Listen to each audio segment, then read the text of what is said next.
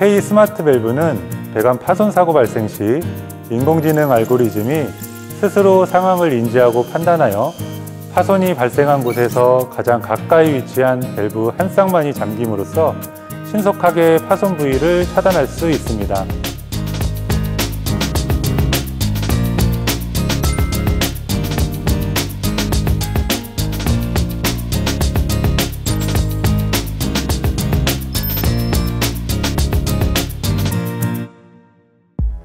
K 스마트 밸브는 무인화 기술로 배관 파손 발생 시 승조원이 개입하지 않아도 스스로 파손 위치를 신속하게 찾고 배관계의 주요 기능을 복구할 수 있습니다.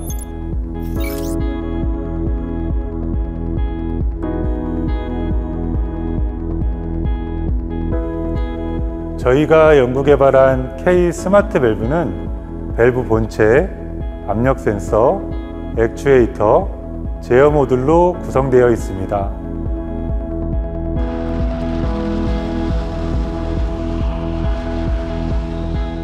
호위함급 함정의 소화계통을 축소한 test bed는 4개의 배관 파손 모사와 1개의 소화전 사용 모사가 가능합니다.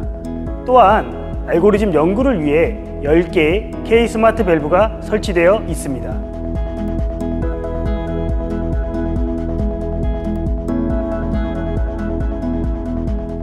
다양한 배관 파손에 대하여 인공지능 알고리즘이 충분히 학습하고 훈련했기 때문에 배관계 어느 위치에 파손이 발생해도 신속, 정확하게 배관계 주요 기능을 복구할 수 있습니다.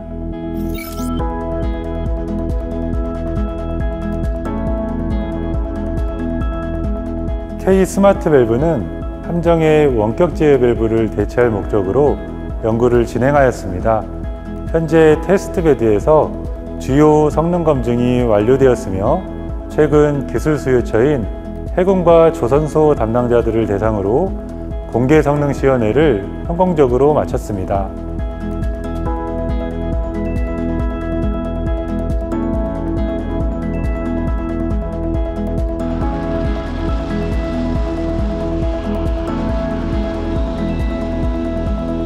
K 스마트 밸브 기술은 함정의 배관 계통에 적용 시 우리 해군의 생존성 향상, 예산 운영의 효율화는 물론 승조원 감소에 대비한 좋은 해결책이 될 것입니다.